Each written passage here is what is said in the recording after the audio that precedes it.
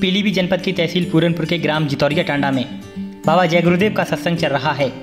यहाँ का सत्संग सुनने के बाद आयोजन में आए भक्तों ने दीपावली का पर्व बड़ी हर्षोल्लास के साथ मनाया। चारों तरफ़ सत्संग स्थल में दिए जलाए गए जिससे जगमग माहौल हो गया।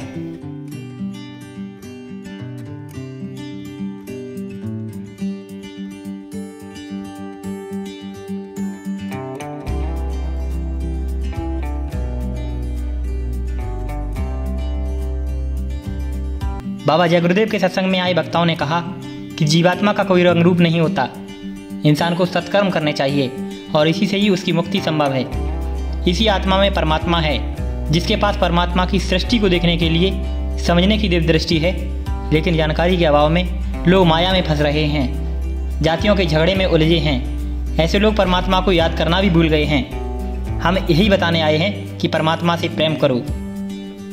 संसारी वस्तुओं से प्रेम करने से उद्धार नहीं होगा। शाकाहार को अपनाएँ और अच्छे नेक कार्य करें। यहाँ भौतिकवादी युग में लौकिक और परलौकिक दोनों विषयों पर जानकारी दी गई।